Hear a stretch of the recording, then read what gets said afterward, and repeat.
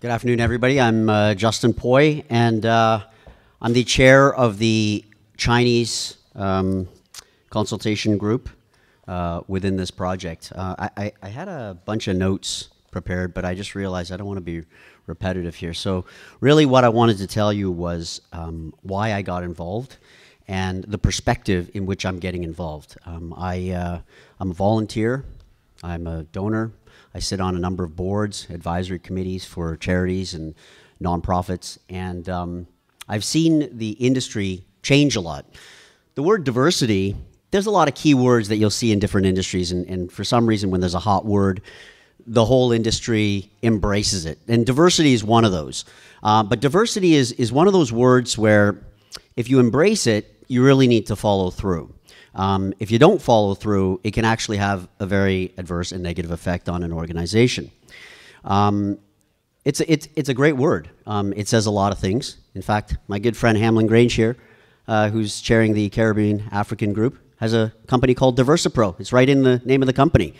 Um, but what, what, what has happened in my experience is that um, very often when when I'm asked as a Chinese born Canadian who has joined a board or a group to please put something together with the Chinese community, I often ask myself, am I, am I actually being more divisive? than inclusive.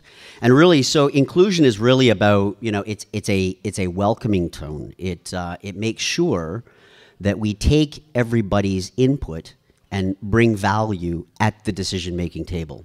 There are a lot of times where I've come to you know a meeting and I find that I've been asked to participate in, a, in, a, in an effort within my community, but all the big decisions have already been made. So really, all I'm doing is being asked to put some sugar on top.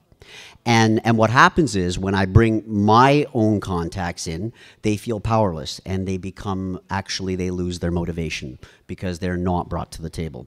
So, what I really think that we will find out over the next few years working in this is that if we bring all the parties together donors, volunteers, fundraisers and really hear each other out, that organizations will then be able to take this information and build something very serious and bring those people to the table and, and properly develop a strategy that is not mere lip service. it's, not, it's no doubt that our, our country, our province, the diverse makeup is changing tremendously. And you know, diversity, as as Krishan was saying, I mean, there's there's many levels we can drill down to, and and obviously, uh, when we're talking about the charitable and not-for-profit sector, it takes resources and those sort of dictate decisions as how far you want to drill down. But all I can say is that um, I hope that out of this project, that uh, organizations, charities, not-for-profits will look at, at fundraising from a different perspective. They will um, they will take this information and truly take it to heart and build it into their plans from the ground up. Because that's really what we need. It's it's sort of it is the very first time we're going to be able to get everybody in the same room talking at the same time. And that's donors we got philanthropists volunteers fundraisers and we want to hear from everybody. Um, I'm really proud to lend my name to this um, uh, to this initiative and my time. And um, you know uh, everybody here at A AFP is wonderful. Krishan in particular. Uh, thank you very much, Krishan, for for even uh, approaching me, and um, and I I want to share in uh, in the building of this uh, uh, widening of the philanthropic bandwidth. So thank you very much, and uh, thank you for helping us launch this initiative today. Thank you.